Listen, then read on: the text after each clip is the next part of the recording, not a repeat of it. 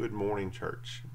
Glad to be talking to you from a rainy Crossville all the way over here and hope that you're dry and uh, still afloat way over there. We've been talking about politics, and politics, again, is just the discussion of how we should organize ourselves as communities, how we treat one another, how we live with one another, how we act neighborly toward one another. And we've noticed that Jesus is political he's not political in the sense that he would be a Republican or he would be a Democrat or he would be an independent. He's not political in the sense that he would necessarily vote or encourage us not to vote or that he would write his senator. But he's political in that he has very definite ideas and offers very definite practices about how we treat one another as neighbors. And in doing this, what we've discovered over the last few weeks is that he is political in ways that are radically different than the people around him. And the way that we've been talking about this is to contrast two stories. One, the story that frames the, at its heart, politics of the world. That is the, the story we've talked about, the story of fear and accusation and power. That we live in a scary world and things go wrong. And what we want to do, our temptation is to, um, and really more than a temptation, our practice has been to find who's to blame, uh, whether that's true or not and then get more power over them as a way of addressing the scariness of the world. We want to outshout or outvote or outbomb or outspend. We've been contrasting that story in a very basic way with the story that Jesus offers. Jesus comes into the world and he agrees that it's a scary and a broken place and there are things that need addressing, but rather than taking up the uh, story of accusation and power, what he does is he takes up the story of the cross as an alternative politic. It's a different way of being neighbor, a different way of living in the world. And so, what I want to do today is I want to um, begin to give shape to the story of the cross. We've talked about it in very broad terms, uh, but now today I want to uh, particularly look at four passages very briefly. We've talked about most of these before. These are all ones that you're going to be familiar with if you spend any time in church at all. But just to kind of lay them on the table, to kind of draw them together, to offer us a chance to reflect on these texts so that um, we can begin to wrestle with in this time where everyone is thinking about politics. Um, what does it mean to submit our political lives to Jesus? of course, we want to do that because we want to submit all of our lives, every part of them, to Jesus. And so we begin this morning with the notion of, I'm going to hit you with a theological term. Uh, we begin with the notion of kenosis. And kenosis comes from a Greek word that is used in Philippians chapter 2 and verse 7 uh, to describe Jesus emptying himself. If you pick up in uh, verse 6 of Philippians chapter 2, Paul says, I want you to have this mind in yourself. And we'll come back and we'll hit the context here in just a minute. He says, I want you to have this mind in yourself. He says, This is the mind Jesus had in himself. Uh, Jesus was, Paul will go on to say, and something that he's quoting from an ancient hymn here, that, that Jesus was equal with God all of the power, all of the prestige, all of the privilege of being divinity. But Jesus did not think that that was something worth selfishly holding on to or exploiting. So, what he did, it says in verse 7 of Philippians chapter 2, is he emptied himself. That's our term, kenosis, self emptying, becoming empty. He emptied himself to take on the form of a human, not just a human, a servant. And then it says, very interestingly, that he was obedient by humbling himself. Listen to that term. Think about the notion of God humbling himself to the point of death, even the point of death on the cross. That, that is, that in a story, in a world where we often take up the story where we assume that to get things done, to accomplish whatever needs to be accomplished in the world, uh, to address the scariness and the brokenness, we often assume that what we need is more power. What we need is more votes, more money, a bigger budget, a bigger building, a bigger program, some stick or some tool to make those people over there who are, of course, the problem that needs fixing do what we want them to do or to otherwise stop them from doing whatever it is they're doing to break the world. We need more. And then you have Jesus in Philippians chapter 2 when Paul says, This is the way he looks at things, this is the way I want you to look at things. Jesus, who had all power, who had all privilege, who had all prestige, who was not lacking in any of those things that we think that we need more of. And Paul says that his solution, his way of addressing those things was rather than becoming fuller, getting more, was to actually give those things up. He emptied himself. He humbled himself. Instead of an upward motion to fix the problems of the world, Jesus offered a downward motion to fix the problems of the world. And this in Philippians chapter 2, just so we're clear, was an explicitly political situation. It wasn't one of geopolitical scope, it was a story of church politics. We're familiar with those two. Paul, writing to the Philippians, sees a church that has a lot of good things going on, but there are a couple of people or a couple of parties in the church at Philippi who are fighting about some things. They've got some sort of conflict, some sort of squabble, and that is an inherently political situation, right? How to be a neighbor, how to be a community, how to live with one another and he says to them in Philippians chapter 2 that the way that you address this is not by out arguing the person against you, not by getting more votes so that you get your way over the person against you, not by outspending them or in some way getting enough power to subvert their cause so that you win. But he says in the verses leading up to this kenotic, this kenosis passage where Jesus empties himself, he says, that what we need to do rather is we need to learn to put other people first. We need to learn to humble ourselves and to set them ahead of us. As a matter of fact, that's the consistent witness of the New Testament. Um, in a world of fear and accusation and power, what we like to do is we like to draw camps of us and them, and the the the dynamic is always us against them we're the good guys, they're the bad guys, this is what's wrong in the world. We need to fix them by whatever means that we need to fix them with. Um, for Paul, it's not that there aren't parties of us in them, but his dynamic changes. It's us for them. And this is what we see in the self emptying of Jesus. And so we want to talk about this politic of the cross. What does it mean to take up the politic of the cross in the world? And what we're going to find is at the very heart of it is there is still us in them, but it's not us against them, but it's us for them. And that the primary way of us engaging them for their blessing is not by filling ourselves up, but by emptying ourselves out. And so, whenever we find ourselves in a situation where we need to address some sort of problem in the world, what we need to do, our first fundamental knee jerk reflex needs to be um, not trying to fix them or silence them or outlaw them or keep them out or to force them out if they are already in or to stop them, but how might we lay our power down and serve them?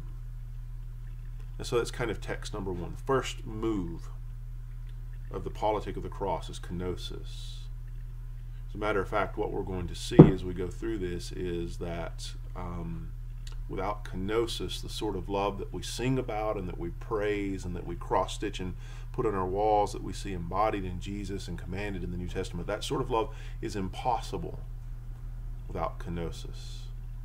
Because what kenosis does is it allows us to draw the boundaries between us and them in a wider and wider and wider fashion. Without self emptying, there is no such thing as biblical love. A second passage that we want to add to that this morning is, uh, I'm just kind of working backwards here from Philippians to where we want to end up, is 1 Corinthians chapter 1, starting in verse 18, and we're going to go down through chapter 2, verse 5. And if you have time this afternoon, I would encourage you to spend some time reflecting on that. For the sake of time this morning, I'm not going to read it verse by verse. It's the text we're familiar with. And so um, I'm just going to run through it. Uh, but the Corinthians, uh, much like the Philippians, they were a church that was uh, all about the us versus them thing, particularly in chapter 1. And there are plenty of things that we could talk about here that the Corinthians were facing, but they had kind of divided up into parties of us and them, and they were fighting about who of those parties was better. And, you know, I was baptized by Paul, I was baptized by Apollos, I am of the party of Christ. You know, they got the Jesus juke going on. And uh, so Paul is wanting to address that. And um, they kept trying to move up the ladder. You know, Paul, Apollos, Jesus. I'm better than you. I've got more prestige than you, more honor than you, more power than you. And so to take that up, Paul reminds them of certain fundamental realities of the cross. In verse 18, beginning of 1 Corinthians chapter 1, he reminds them that when he came to preach, he preached to them nothing but Christ crucified, that he brought them the message of the cross. And this cross was um, foolishness according to the wisdom of the world, and it was weak or, or um, weakness according to the power of the world. And it was. I mean, the cross is what happens to losers. The cross is what happens to those who don't have enough power to get their way done. In the story of fear and accusation and power, the cross is what the Romans did to fix the world when they got in our way. So it was ridiculousness to suggest that someone who had been weak enough to lose to the Romans, to get crucified on a cross, was actually the one saving the world. But Paul reminds them of the fundamental reality of the cross that the cross, even though it was foolishness to the world, was actually the wisdom of God being manifest. And the cross, even though it looked like weakness to the world, was actually the strength of God being manifest. And there's this fundamental truth that I don't want you to miss here. And this is um, something one of my preachers reminded us of earlier this week. I shared it on social media, but this has been a truth for a long time it's not saying that the weakness of God is still stronger than the strength of men, but rather Paul is saying that God's strength is weakness. That the cross, this kenosis, this laying down his considerable power and dying, was an expression of the strength of God. It's kind of like what uh, Paul tells us in 2 Corinthians chapter 12 when he has this thorn in the flesh and he goes to God and he prays three times, Please remove this thorn of the flesh from me. And God says that we're not going to do that because in your weakness, my strength is made perfect. It is through weakness that God reveals his strength. His strength is the weakness. But we might look at 1 Corinthians uh, chapter 1, starting in verse 18, and we might say, well, that was fine and good for Jesus. Jesus had to die on the cross, and so we couldn't have had forgiveness of sins, but he just doesn't understand the way the world works. He doesn't understand that things are different for us. But Paul turns around at the end of 1 Corinthians chapter 1, and he says to them, he says, Now I want you to also understand that this, this weakness that is strength that God demonstrates in Jesus, this wisdom that is foolishness that God demonstrates in Jesus, this is also the same sort of thing that He is doing with you. He says, Look at yourselves, sisters and brothers. Not many of you are strong, not many of you are wise, not many of you are esteemed by the world. God is working out that same strength that is weakness, that same foolishness that is wisdom in you that how God elects to work in Christ, which by the way was how God elected to work far before Christ, is now being worked out in you. And so Paul um, crescendos in this text at the beginning of chapter 2, leading up to the first five verses. He said, So remember when I came to you, I didn't come with fancy speech or persuasive arguments. I wasn't trying to impress you with how smart I was or my rhetoric or my grasp of philosophy. He said, What I did is I brought you nothing but Christ and Christ crucified. So again, we see this downward motion, and Paul says this downward motion, this weakness, this weakness is the strength of God. And it seems to me that in a culture where we are enamored with being stronger, of being first in everything, of being the greatest, whether again or for the first time, which is not a purely Republican concerned. These are themes that run out or run throughout all the political parties over time that have been present in our nation. All of these impulses to get more, be first, these are going in precisely the opposite direction of what Jesus is going in. These are concerns that are diametrically opposed to what Jesus is concerned with. These are approaches to the rightful problems of the world that Jesus seems to be saying will never take us to where we want to go. In a world where we value strength and we value wisdom, it is um, true wisdom to practice the weakness that demonstrates God's strength, to practice and contemplate the foolishness that demonstrates God's wisdom. And this, Paul would say, is the politic of the cross. He's offering this to um, set up a political model. The third text is in John 13. This is again one that we're familiar with. This is Jesus at the Last Supper, and we're coming down to about verse 38. And this is where he says, I'm going to give you a new command. He says, The new command is this that you love one another as I have loved you. And when you do this, then people will know that you belong to me. And we've talked about this one before, so I don't want to talk about it long, but you know, we might rightfully ask, in what sense is this a new command? I mean, you've been going around now, this is the end of your life. You've been going around for at least three years in your ministry talking about love. We, we have quite a bit of love talk. You've told the story of the Good Samaritan and what it means to love your neighbor. You've given us the greatest commands love God with all your heart, soul, mind, and strength. Love your neighbor as yourself. You've kind of elevated those. All you do is you talk about love. And so, in what sense is this new? Well, I think in the context of John 13, they're in the upper room. This is the Last Supper. This is just before Jesus dies. Uh, this command is given in the same breath as Jesus talking just a few verses earlier about how the Son of Man, this is the term he uses, the Son of Man is going to be glorified. And uh, this phrase, the Son of Man is going to be glorified, picks up on a variety of Old Testament themes that his disciples would have immediately thought of because they were familiar with the Old Testament. Uh, but kind of the high water mark of those Old Testament themes is perhaps that vision in the book of Daniel. You remember Daniel has a dream, and there is this um, this series of increasingly scary monsters, four monsters that come and they battle one another. And these four monsters represent the nations of the world, the, the powers of his time, and those coming in the future. But then halfway through the dream, this nightmare turns into a courtroom drama as the Ancient of Days sets up court and he puts those monsters on trial and he judges and he condemns and he dismisses those monsters, those who are in charge of the way that we normally do business. And then at the end of the dream, he glorifies, that is, he lifts up, he establishes the Son of Man.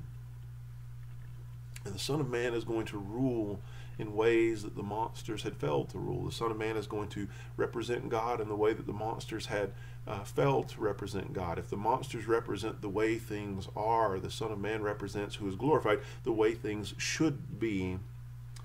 And so Jesus is in the upper room, and he says the Son of Man is about to be glorified.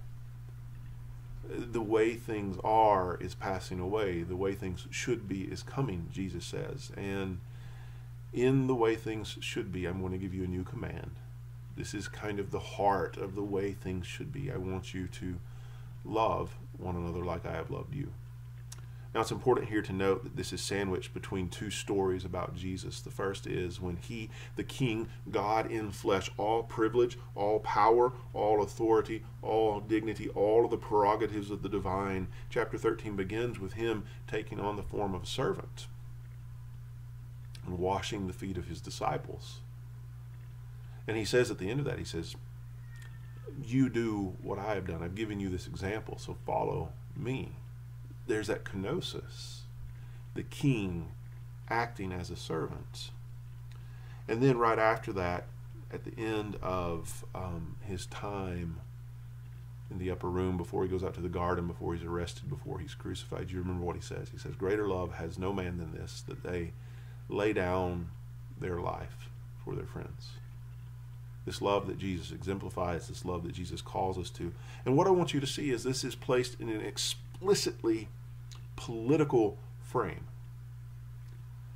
Jesus is establishing a politic. The old is passing away. The monsters that represent the way things are done in the world are judged in Daniel's dreams. And the Ancient of Days glorifies the Son of Man to establish a new way of doing things. And that new way is the sort of love that lays its power down to wash the feet of those who, by the world standards, are under them.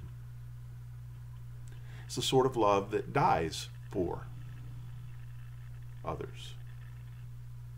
The last text we want to talk about this morning is, um, let me flip over to it real quick, is in the book of Luke and in verse 22. This is, again, the Last Supper. This is, again, the upper room. This is, again, just before Jesus dies. and is buried and uh, ultimately is resurrected.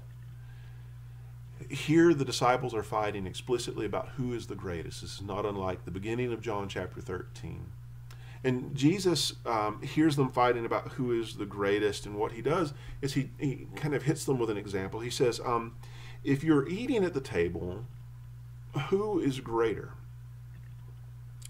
The one who sits at the table, reclines at the table as they did things in that day and is served, or the one who is doing the serving? And everybody knows that the one who sits at the table, reclines at the table, the one who is served is the one who is the greatest. Um, but Jesus says, and remember, this is God, all power, all of the prerogative, all of the authority, all of the dignity of divinity. He says, But I am among you as one who serves. I am not taking the position in our world of the one who, as he would say, lords over those under him by the world standards but serves them. And so we think about all of those other passages related to this one Jesus saying the first must be last, the last must be first, the one who is the least is the greatest. And so, what does it mean to be political like Jesus is political? Step one empty ourselves. Step one is kenosis. And this is the bedrock of love, the bedrock of the Christian ethic, the bedrock of the new order, putting ourselves first, or putting others first, emptying ourselves first. We've got to make sure we get that right. Um, I just want to leave you with that. I want you to ponder that this week. I want you to listen to the political talk going on around you and ask yourself how Jesus and this notion of kenosis reimagines the way we might treat one another as neighbors. But for now, um, we've done enough. We did four whole texts today. Uh, let's pray. I'm going to pray for you. I'm going to ask you to pray with me. Then we'll remember who we are as we go out into God's world. Father, help us to empty ourselves. Help us to humble ourselves. We are in a position in history, in a position in the world where we have so much power. May we lay that down for the sake and the benefit of others. May we stop building walls. May we stop pushing people away. What may we stop saying us versus them? Will you deeply ingrain in us an ethic of us for them? Teach us to love like Jesus. And now we come and we pray as a family. Our Father who art in heaven, hallowed be your name. Your kingdom come, your will be done on earth as it is in heaven. And give us this day our daily bread. Forgive us our debts as we've forgiven our debtors. And lead us not into temptation, but deliver us from the evil one. For yours is the kingdom and the power and the glory now and forever. Amen. We shall love the Lord our God with all our heart, with all our soul, with all our mind, and with all our strength. This is the first and greatest commandment. And the second commandment is like it. We shall love our neighbor as ourselves. All of the law and the prophets hang on these two commands. We love because God first loved us. Anyone who says that they love God but hates their brother or sister is a liar. How are you going to love God, whom you have never seen, if you don't love your brother or sister who is right in front of you? So, this is the command we have from Him. Those who love God must also love their brother and sister. Church, have a great week. We love you. We miss you. Go love like Jesus. Our neighbors, our world, we desperately need it.